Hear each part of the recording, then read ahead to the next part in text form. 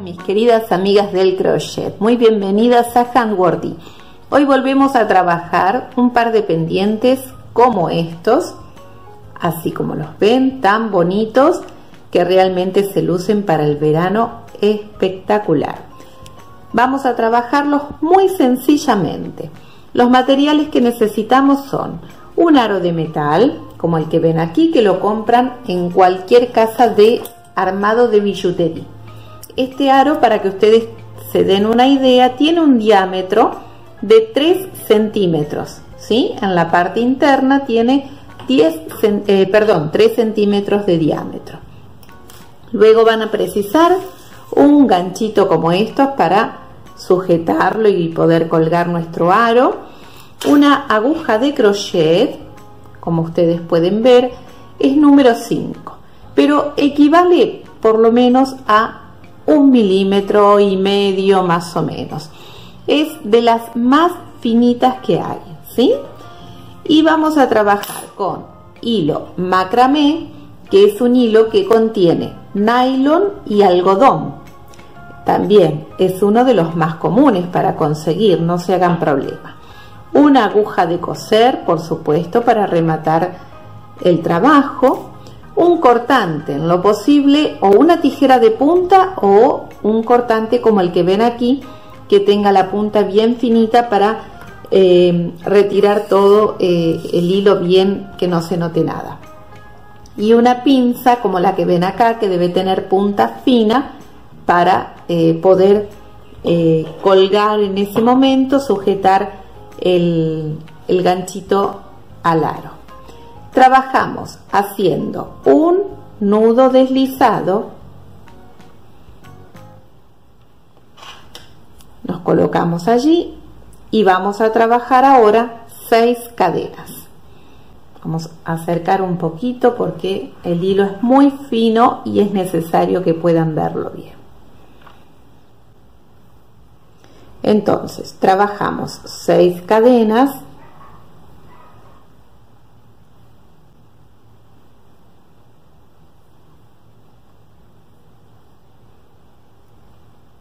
Cuando tenemos las seis cadenitas, nos colocamos en la primera cadena, ahí, y vamos a cerrar con un punto deslizado. Esta hebra cortita la vamos a ir guardando por dentro del trabajo. Luego tejemos una y dos cadenas que representan un medio punto alto. Dos cadenas más para dar espacio. Y dentro de este anillo que hemos hecho nos vamos a ir colocando para trabajar medios puntos altos. Entonces trabajamos uno dos cadenas otra vez un medio punto alto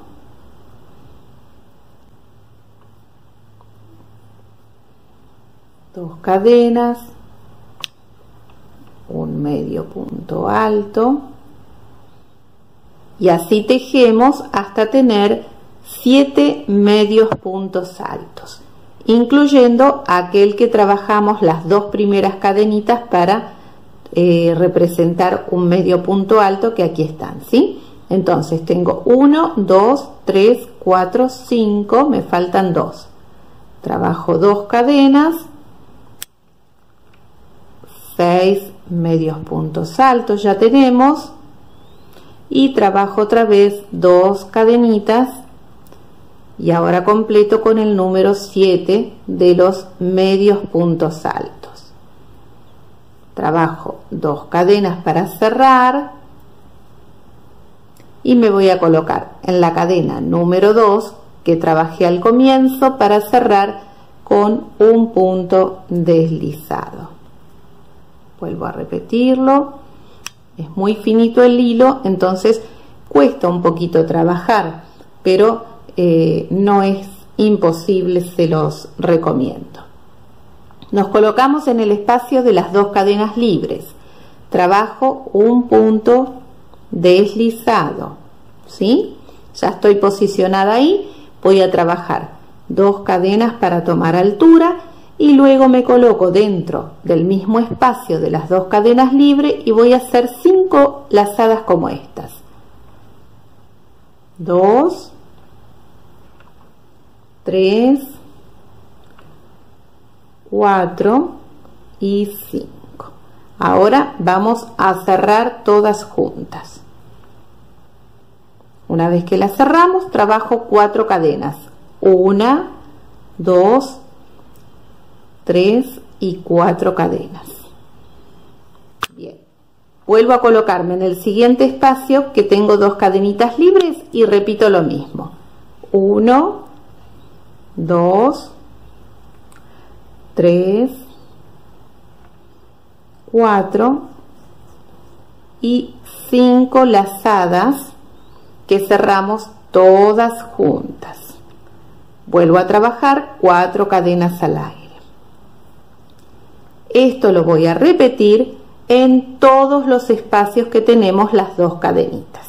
Que completamos todas las cadenas que teníamos en la base con este punto, vamos a trabajar, es el punto mota, ¿verdad?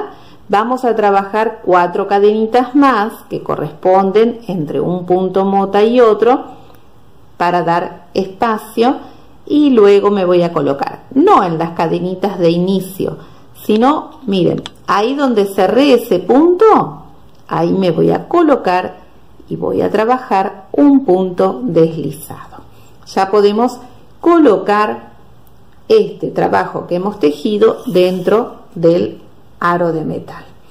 Bien, para colocarlo y para que nos quede igual al otro arito que ya hemos hecho, vamos a trabajar de la siguiente manera. Nos eh, identificamos por esto en dónde nos vamos a colocar. Miren, no del lado de acá, sino aquí. ¿eh? Me coloco ahí, traigo la hebra que la pasé por arriba del aro de metal, la traigo y trabajo un, un punto deslizado. Luego me voy a colocar en el espacio libre de las cuatro cadenas. Acá voy a trabajar 1, 2, 3 puntos deslizados. ¿eh? Y ahora me coloco acá de vuelta, donde cerré el punto mota. Voy a tomar la hebra de abajo pero miren, la vamos a cerrar por arriba del aro de metal. Ahí. Entonces ahora ya lo tenemos más integrado. Bien, ahora voy a continuar trabajando. Dentro de los espacios libres de cadenas trabajo cuatro medios puntos.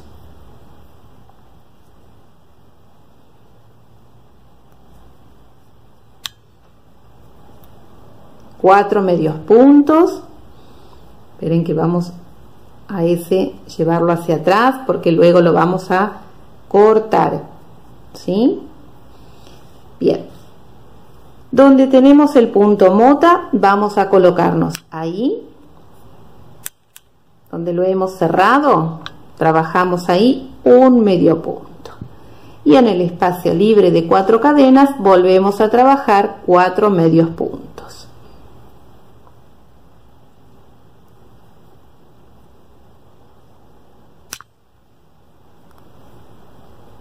Otra vez sobre el punto mota me coloco ahí y trabajo un medio punto. Y así voy a repetir hasta encontrarme con el primer punto donde sujete el aro de metal. Voy a continuar con cuatro medios puntos en el espacio libre de cuatro cadenas y un medio punto sobre el punto mota.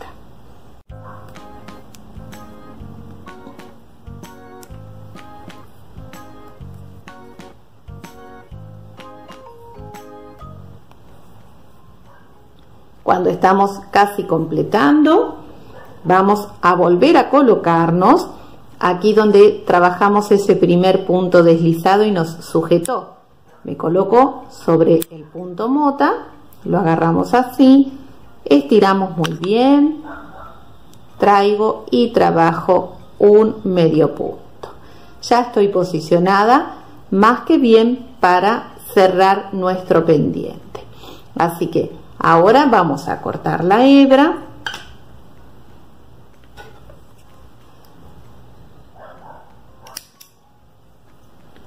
La retiramos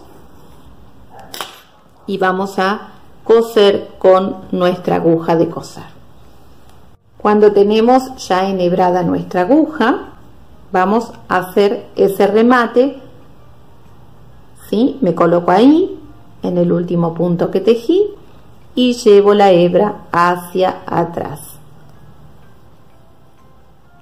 Ahí está. Ahora vamos a voltear del revés y vamos a coser. Debemos ir corriendo un poquitito hacia el otro extremo del aro, el tejido mismo, ¿sí? Para que me quede bien parejo.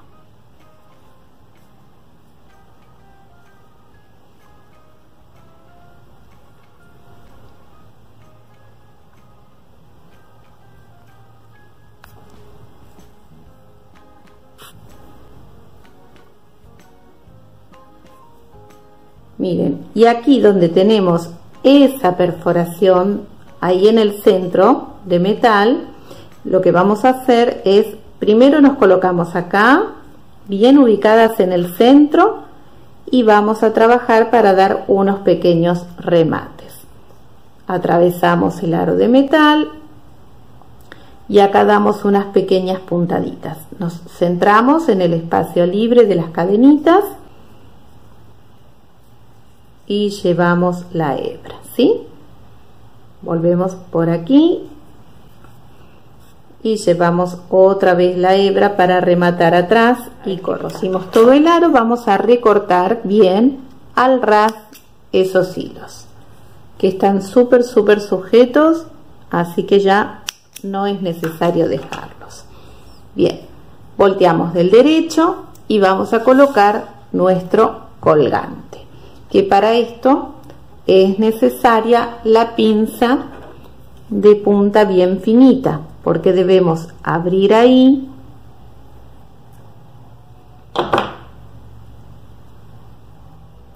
y colocar nuestro pendiente. Fíjense que este es el derecho lo colocamos allí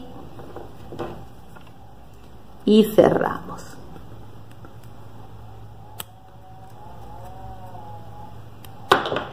Bien, tenemos terminado nuestro par de pendientes. Bien, amigas, hasta acá el tutorial de hoy. Han visto lo bonito y fácil que se trabaja un par de pendientes hechos por nosotras mismas, tejidos a crochet. Espero que les haya gustado el tutorial y nos vemos muy pronto aquí en Handwordy con muchas más ideas de crochet.